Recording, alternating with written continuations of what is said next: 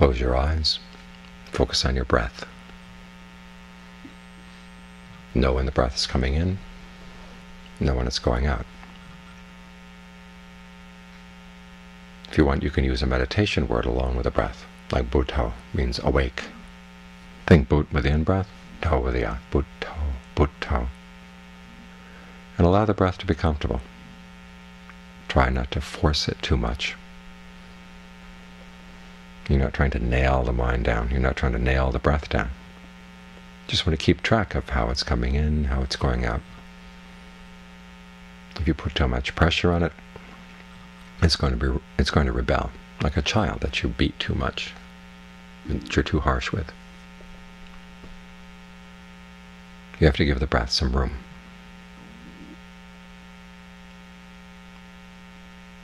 This is an important principle, learning how to get along with your breath. It's very similar to learning how to get along with other people.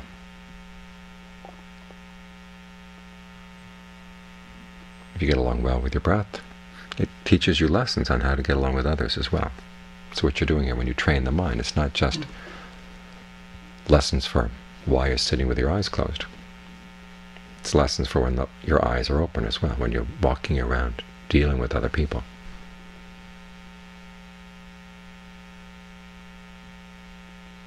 Because in order for the breath to be comfortable, you have to listen to it. In other words, try to be sensitive to how it feels. Be sensitive to the way you focus on it and how that affects the breath.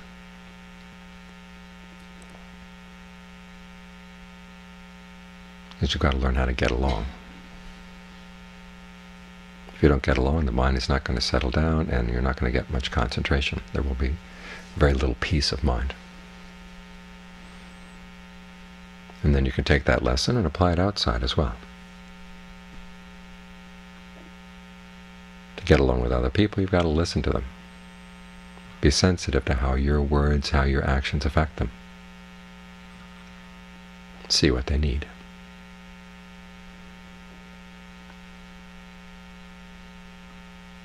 And if you're coming from a position of strength, it's a lot easier to deal with them.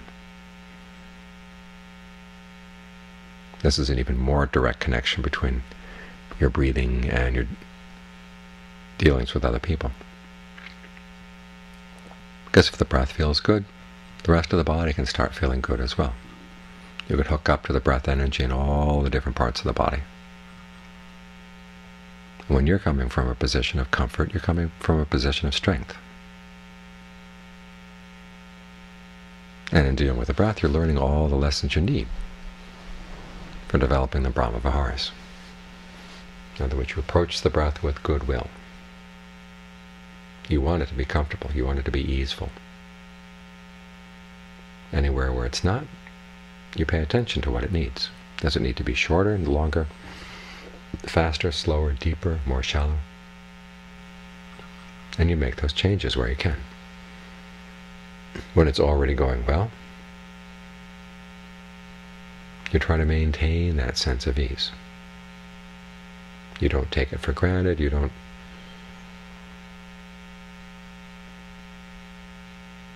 just throw it away. You appreciate it. Recognize its importance. And then there are areas of the breath that you can't make go as you'd like, well, you have to develop equanimity. So you've got lessons in all four of the Brahmaviharas, goodwill, compassion, appreciation or empathetic joy, and then equanimity. When you learn how to deal with your breath in this way, it's a lot easier to deal with other people in this way as well. So this practice we're doing here is not just a practice for running away and having nice mind states on our own.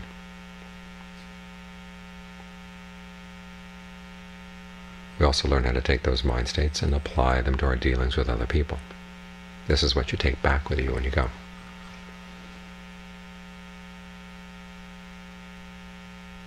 You develop a sensitivity, you develop a, a wish for happiness. And you don't get cynical or jaded about that. You're developing both the heart and the mind. Buddhism, they don't make clear distinctions between heart and mind. In other words, the emotional side and the intellectual side, they go together.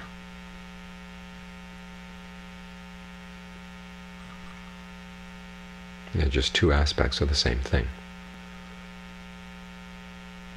So for instance, while you're learning about dependent co-arising, it may seem to have very little to do with heart issues like goodwill, but it really has quite a lot. Goodwill involves mental fabrication, involves verbal fabrication. It's something you consciously do. You try to do with as much knowledge as possible so that your mental and verbal fabrications don't cause suffering. You understand that when you think when you have feelings and perceptions. If you do it with ignorance, it's going to cause suffering. If you do it with knowledge, it goes in the other direction.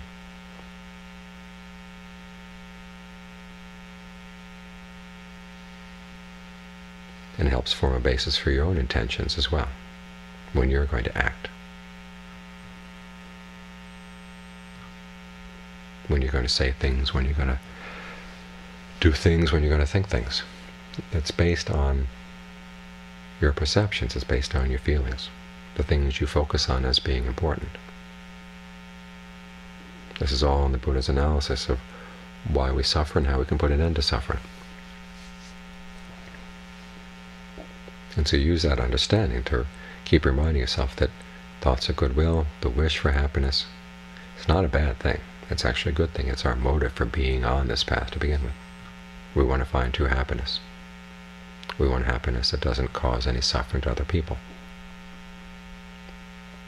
For happiness that causes suffering to others is not going to be true. It's going to be destroyed easily. So we realize that we want to base our actions on attitudes that are going to be as conducive to happiness as possible. This is where the Brahma Viharas come in. So you tell the mind part of your body, mind, heart complex. But this practice is an essential part of gaining release. At the same time, you teach your heart. It's got to respect principles of causality. In other words, you wish happiness for others, but you realize there are certain things that you simply can't do for them, or they can't do for themselves. That's where you have to develop equanimity.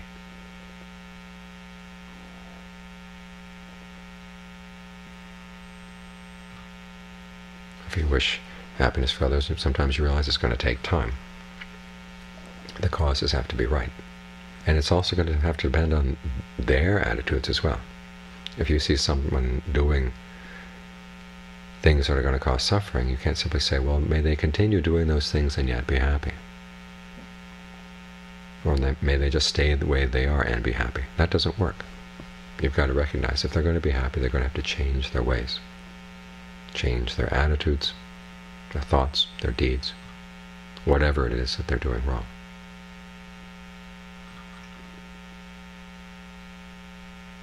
It's goodwill. It's not just learning to try to be happy just as you are or wishing for other people to be happy just as they are. You've got to realize that sometimes changes have to be made. That's why we have a path. And sometimes the changes are just not going to get made. That's why you have to have equanimity. But when you see the opportunity for the changes to be made, you go for it. This is a part of having genuine goodwill for yourself. You're not just accepting yourself as you are, you're accepting the fact that you can change.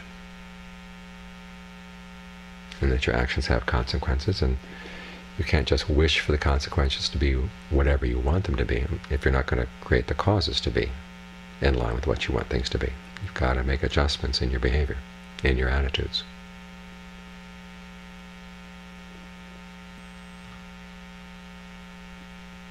And if you're dealing with other people and they just simply won't change, well, that's, that's what equanimity is for. Ajaan Fuang used to say that goodwill without equanimity, goodwill without the equanimity that comes from jhana or concentration practice, can be a cause for suffering. You want other people to be happy, but they're just not going to change their ways, or they can't change their ways. So you learn equanimity. It's the same way as when you're dealing with your breath. Sometimes you'd like to be comfortable, but there are feelings in different parts of the body that just simply will not go away no matter how you breathe.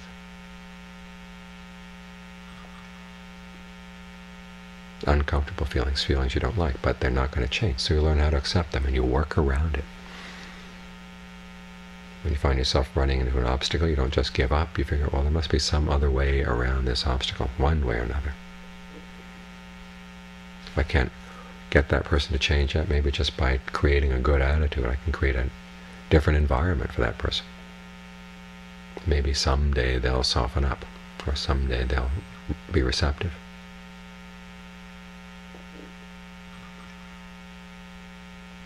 So what this means is you train your head side to respect the desire for happiness. Realize that this is important. You train your heart side to respect causality, that simply wishing for happiness is not going to make it happen. There are things you've got to do, some things you've got to change, skills you've got to develop.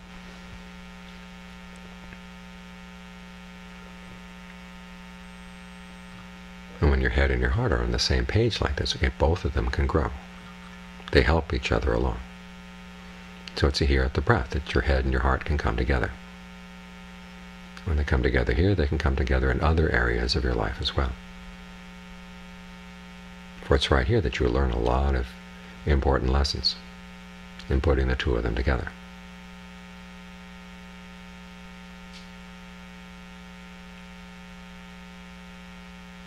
So we've got a whole hour to learn these lessons. Bring your full intelligence to this, bring your full heart to this.